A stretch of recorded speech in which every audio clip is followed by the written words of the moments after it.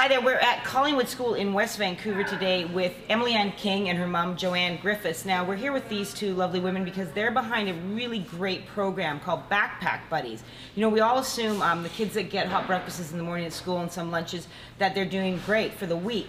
But the problem is, it's the weekend, Right. People forget about the kids that don't have any food during the week that, Yeah. that happens on the weekend. So tell me a little bit, you guys, about starting this program. Collaboratively, we decided we were going to do something, and so we started with this school here. We came to them and said, uh, "Do you want to fundraise for us?" And the very first week, we delivered 20 backpacks of food on a Friday uh, to kids in the inner city to take home. And now we've uh, we do about a thousand a month, just over a thousand a month, and we have.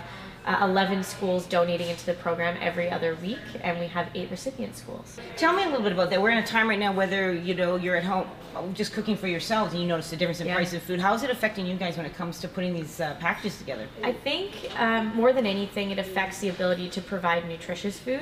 We're able to get our hands on a lot of reasonably priced food that's very lacking in nutrition. So, sort of the Kraft Dinners and things like that, which isn't ideal, but something is better than nothing. And hopefully, with uh, with some more funding, we'll be able to to increase that nutrition. You do it bi-weekly right now. Yeah. When are you going to expand?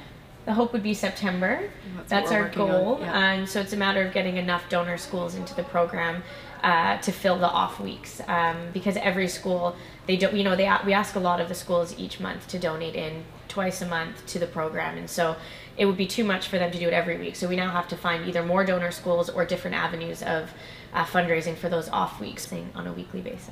It's one of those things, though, right? It's great that you're successful and you're building, you're able to help more schools, but then you want to pull back and say, why do we have to even do this at all, right? Well, that's my biggest thing, and that's what I've been working on for the last five years, even before I started this program. This is a band aid. Right, We yeah. need programs that can actually fix this problem.